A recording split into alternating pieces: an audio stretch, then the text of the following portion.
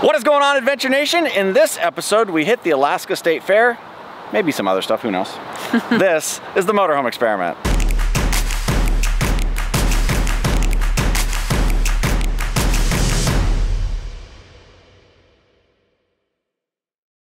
As you can tell, we're running late. Like, look at my hair. I didn't even dry it. yeah, checkout here is 11 o'clock. It's now probably mm. around 12:30. We are running extremely late. No, yeah, noon. we did thought we did think It's it was noon. noon. It is noon now. Yeah. Oh, it's noon. So we're only an hour late for checkout. Uh, I'm gonna blame my daughter Allie for that. They called and I just kept talking and I just thought realize. it was noon checkout. So I was Yeah. like, oh, we're okay. That's why I let him talk and all that. But Lori's had enough of this campground. We're here at Centennial. Uh, it's a state park. This is a nice campground, I have to say. It's just right outside of the city, but it's not like super outside. Like you have literally across the highway, you have like Target and Best Buy and all the amenities are right here, like 20 minutes from downtown. Right, That- very, very handy to very Anchorage. handy, and the spaces are super spacious. Uh, this one had electricity, 35 bucks for electricity. Right, 35 electricity and 25 for just Uh, dry, dry camping. camping. But yeah, pretty pretty nice site. Yeah, it's huge. Our partners in crime, they already left. They're down there at the dump station, and it's time for us to get there as well. Yeah, and half of the campground, as you can see, it was closed because those little pink signs over there, and they say, uh, be careful, there's bear around, or sites closed because of bears are around. We were here for quite a while, like two weeks, and we didn't see any bear whatsoever. So we still haven't seen a bear in Alaska. Sad. Are You ready to go? yes, Let's do this. let's go. Just rolling over here. We're gonna use the dump station quick. We'll watch this guy and see how he does it. And if he does it right, then maybe we'll learn how to do it. All right, rolling out of the dump station, all set up and ready to go, and rolling out of Centennial Campground. After two weeks away, I almost forgot how all this stuff works. Lori had to retrain me. Pretty much, you forget how RV, uh, the RV works and all that. I feel like I have a new husband, like I'm dating Yeah. somebody new too. Yeah. Yeah. So we are rolling down towards Palmer, Alaska. We've already spent some time there, but we are going to try and check out the Alaska State Fair. So that should be fun. See the giant vegetables that Alaska is known for. The 1,400 pound pumpkins and stuff like that. So it should be interesting. That would be cool. And by the way, the tickets, uh, they're sold at the box office right there, but you can buy a pack of four for a lot cheaper than the actual fare. So if you have a chance to buy them beforehand, like if you're planning on going, go to Costco and just buy the four pack. A lot cheaper. Very cool. At Costco? Yeah. Wow. Cool. So off we go to Palmer. Yeah, let's have some breakfast too. Yeah, we didn't get breakfast in, so them a banana. cool.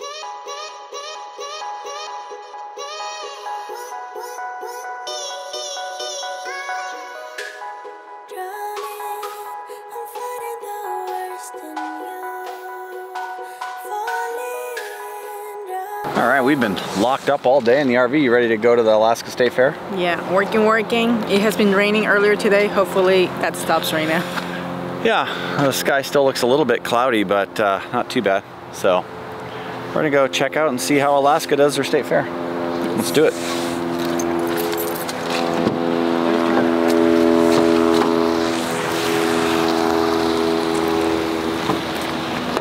These guys are coming with us. All right, we found parking and now we're heading into the fair. This is gonna be interesting. It is busy here. There's not a lot to do in Palmer on a Friday night, so it is packed. I think it's just a thing to do here. So everybody comes from Anchorage, Palmer. It is the Alaska State Fair, the state that's much larger than that Texas. Yeah. Yeah, check this out. Look at that truck over there. How cool is that? Look at Laura and their Instagram. And it's towing a uh, smart car behind it. That's awesome.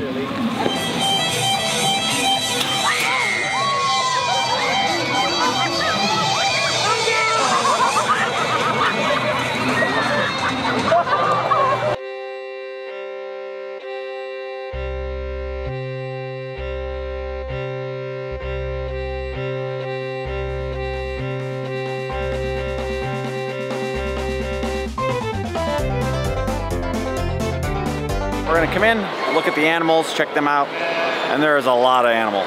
Pretty cool. What do you think about getting a goat for the RV? Oh, a tiny goat. Like, look, there's one tiny there.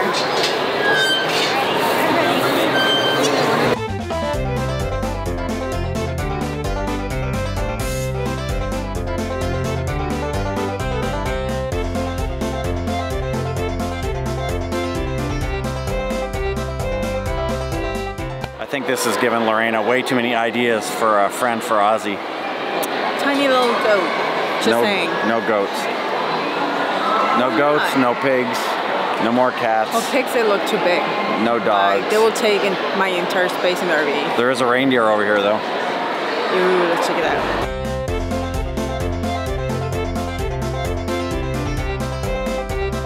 Okay, I'm not really into flowers, but these are pretty cool.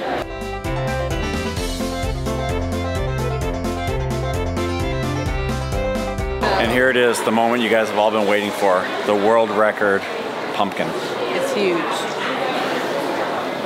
Help me out.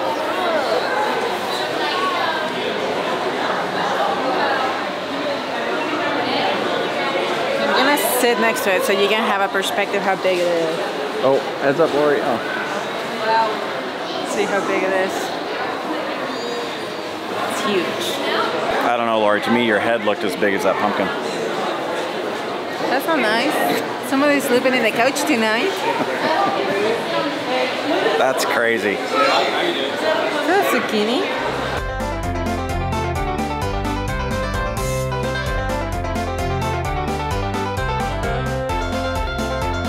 There is some serious competition going on in here. They're about to weigh the cabbages to see if there's a new world record for cabbages. How exciting. Yeah, which one weighs more? Just, I'm waiting with bated breath. I, I just, the anticipation is killing me. It's a thing here. Why not? Oh my god, he's just a party pooper.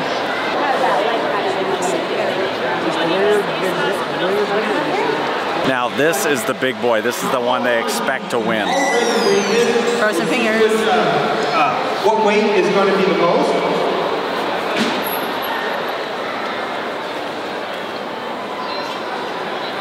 So Brian, And by the looks of those scouts struggling to put that on the scale, it's going to be 85 to 90 pounds. Oh, now you're an expert. Now I'm an expert on the cabbage, yes. Okay, let's Um, see. that's, that's my estimate weight, 85, 90 pounds. 85, 90. I go with you come 83. way. How long? 83 pounds. Wow, you're going. All right, got it. very specific. it. Okay, Lori, here comes the announcement. Official weight, 94.0 pounds. So, and we know you lost a half a pound since you weighed it earlier, but this is the official weight. So, 94 pound cabbage. I win! Yeah, yeah. No, you didn't. You said 83. I said between 85 and 90. No, I said 93. You did not say it. Okay, you win. What you win? I don't know.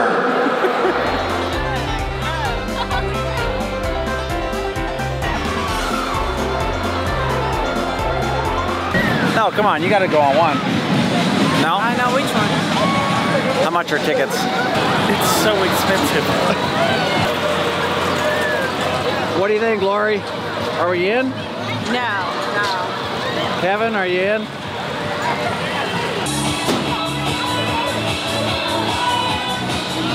Definitely not this one. I never, I never. But unfortunately, this is more our speed right here. Not our. It's your speed. This is my speed.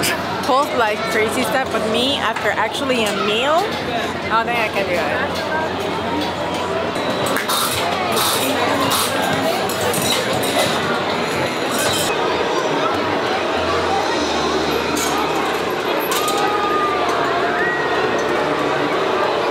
Lori's enjoying a piece of corn, and we're getting ready to head on out of the fair. I think we're about done. Yeah, I mean, there's not that much to do, but just walk around, see all the shops, eat, and we did it all. And then head on out, right? So we're gonna head on out. No. Usually a thing for you. Good morning, everybody.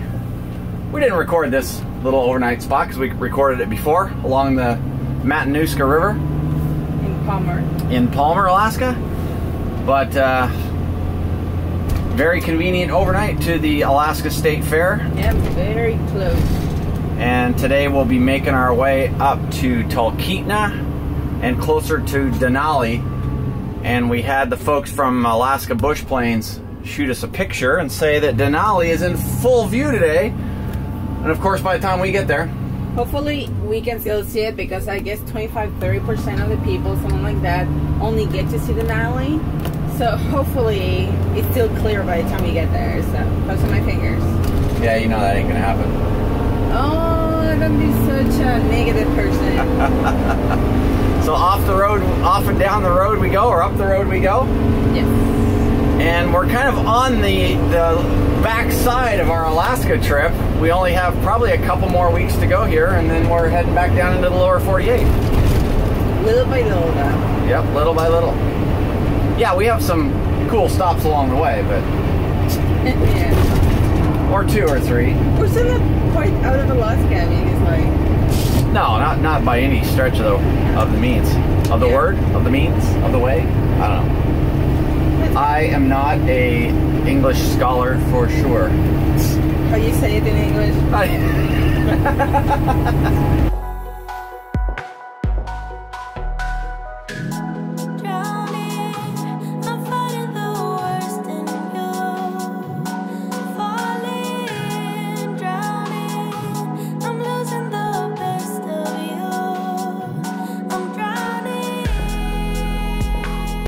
way up to Talkeetna here, we decided to stop in at the Birch Syrup Company, Alaska Birch Syrup Company, and we're gonna check them out, see what Yeah. birch syrup's all about. Hopefully they have tours.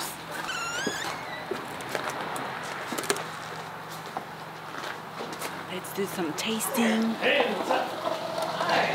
Round us out with that, right?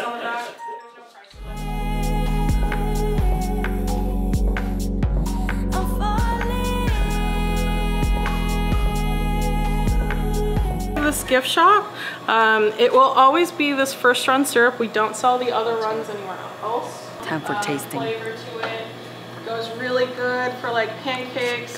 Even the color changes a little bit. This one has more of like a cherry-like flavor to it because of that fructose. Um, this is my personal favorite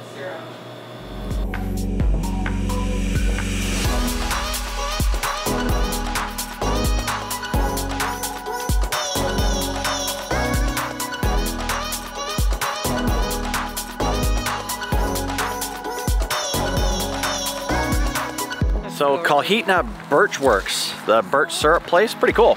It was good, and their stuff is like so cool. Yeah, the staff is really cool. The products were awesome. And uh, I will say they're they're not cheap, but they are absolutely Well- unique to Alaska and to this area, and very very cool. This is a very Alaskan product as well, and it takes a lot just to do literally one gallon of this syrup. So I think that's why it's pricey. Right. Just for what it takes to get it, Yeah, basically. and uh, just a just a neat experience. Great stop. And now on to Talkeetna. worst in you. Falling, drowning, I'm losing the best of you. What do you think? Oh, it's an amazing view. A little bit of clouds, but still an amazing view.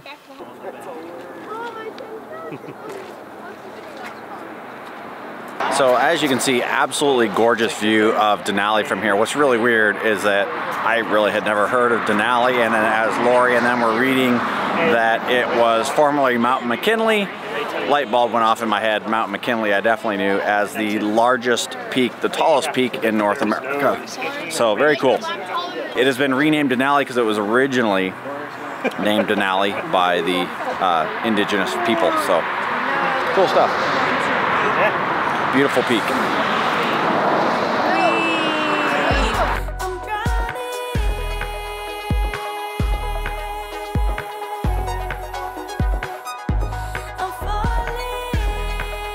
What do you got there, Lori? Oh my god! Oh, it's his new friend. What is it? It's a bunny burrito. The bunny burrito. Oh, I need to hide. It's camera shy. It was nice talking to you guys. Look at them, this one's here too. You know what?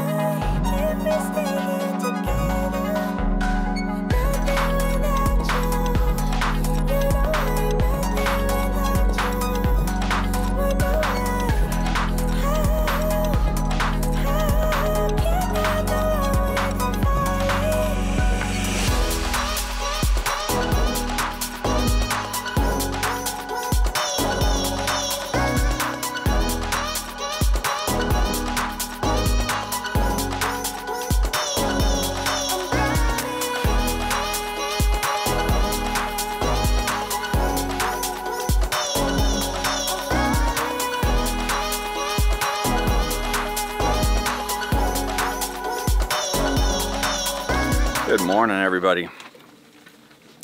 This morning, we're gonna go and check out Denali. We checked out the little town of Talkeetna yesterday a little bit, but today we're gonna go see Denali from a different perspective. You ready? I'm ready. Wow, you look so excited, Paul. I'm We're excited. Go. We're ready.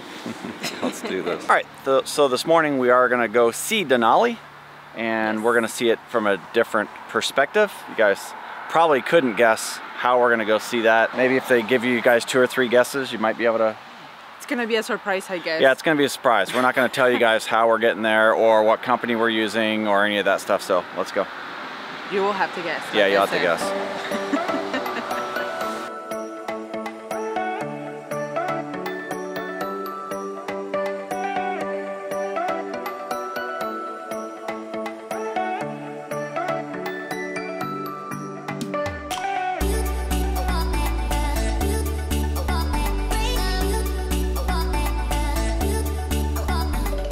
So you've never been on a float plane before? No, float plane is first time, so that's kind of cool. See how it's to take up from water. Is the small plane the first small plane you did? Was that with Aaron Young and them? And No, um, it was in Las Vegas in the Henderson. A husky. oh, that's right. Yeah. You were on the small plane, the Husky. All right, I got to give you guys a briefing before we get going here. Emergency exit left door, handle down lock, up's open. Flotation device behind its seat back. Fire extinguishers in front of my seat. And emergency gear in aft compartment. And my name is Albert. Cool. And I will brief you on the headsets. They're, they're very delicate, so when you put them on and off, make sure you hold them by the cuff.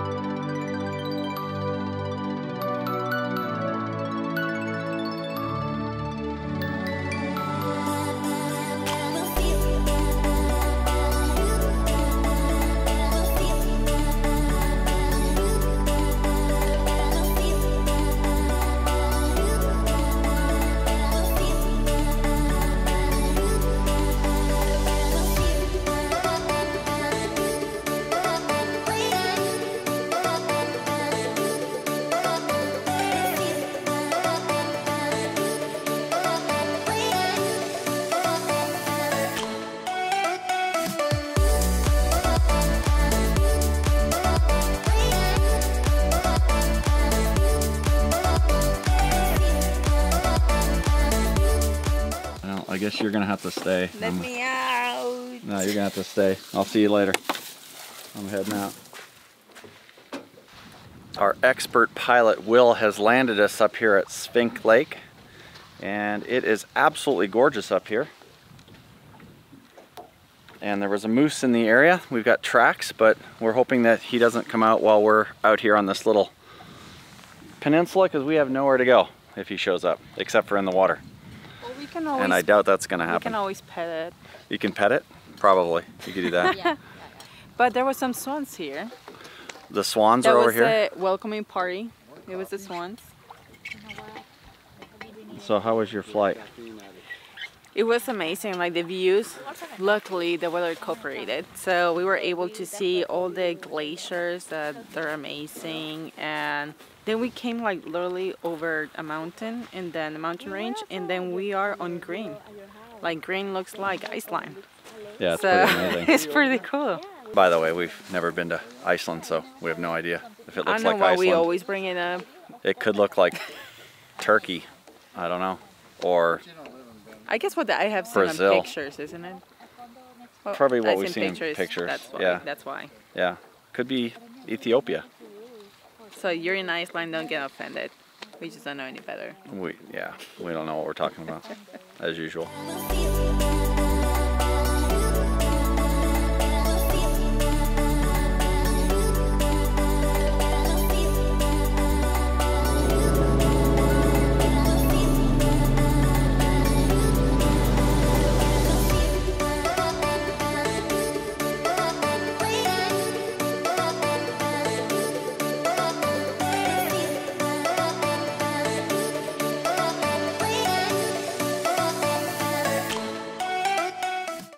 how was it, Lori? It was amazing. It was a lot smoother than expected, but beautiful scenery. Like, it was awesome. But we had a great pilot. Yeah.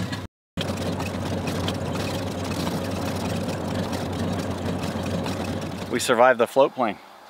We did. Actually, it was a lot smoother than expected. I thought like landing on water, it was gonna be kind of hard, but no. I mean, it was just No, like gliding. really, really smooth. And of course, Will's been doing this a little while. Forty something years. yeah, so he's really good at it. This little area here where you come in to get signed into the airplanes uh, is really, really kind of cool. Beautiful setting. And the lake itself is just such a beautiful setting. We really, really enjoy our time, and uh, it was a pretty neat experience for sure. Yep. What are we doing now? Let's go and find out what we- we're All gonna do. oh yeah, these guys are out biking around, so now I think we're, you know, when we get together, we probably gonna go eat. It's normally what happens. We already ate.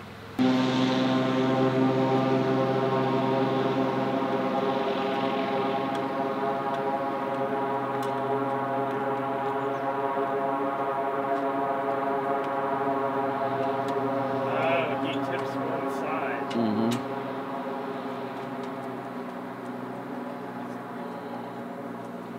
Yeah, that was Jason. That was what they came And it's our last night in Talkeetna. We were out having pizza out here with Vegan RV, over here at Mile High Pizza, out here with Arlene from the Alaska Bush Air Service.